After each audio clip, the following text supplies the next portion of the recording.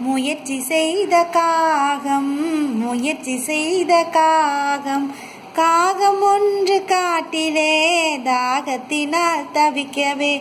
வீட்டு பக்கம் வந்தது ஜாடி ஒன்றை கண்டது. அந்த ஜாடி நடுவிலே கொஞ்சம் தண்ணீர் இருக்கவே.